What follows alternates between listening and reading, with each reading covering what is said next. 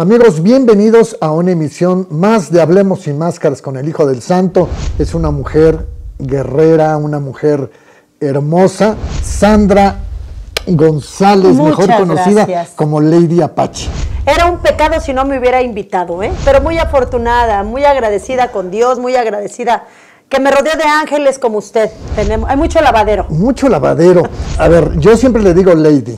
Nunca te digo Sandra, ¿va? Sí, yo creo que más es más es al revés. Me dice más Sandra que Lady. Ya empiezo a entrenar en la arena Patlaco y llego con el herrero. Quien me recibe es Fuerza Guerrera. Pero acuérdese que yo no era aficionada.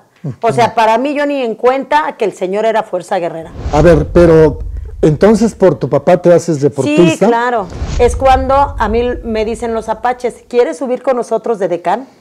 Era, no era ni de decano, era- en ese tiempo no había decanes. Seguramente te tocaron arenas donde no había sillas. Sí, eso es lo que le digo. Las- que los- no ¿Cómo se llaman? ¿Tatamis? Los tatamis, los, ajá. Cuando tú te separas del Apache, te quedas con tu bebé. Las hijas del Apache, ¿cuántos años tenían? Cuando ellas llegan conmigo, una tenía, si no estoy mal, 12 años, Ajá. la otra tenía 11 y la otra era una bebé. Tenía como 3 o 4 años. O sea, Y usted estaba ahí también, ¿no? Sí. No se ría. Él, ¿sabes qué? Me enseñó a viajar. Me enseñó a conocer el mundo.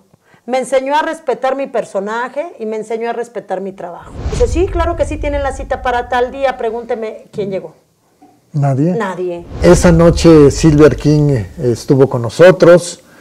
Después me, nos regresamos al hotel. Estuve con Silver todavía platicando.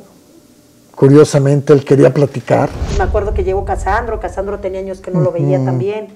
Entonces, después de este gran convivio, se hace, era la matiné que teníamos, ya habíamos pasado el primer evento. En mi vida, porque es la, la princesa que me ha permitido eh, aprender a ser mamá.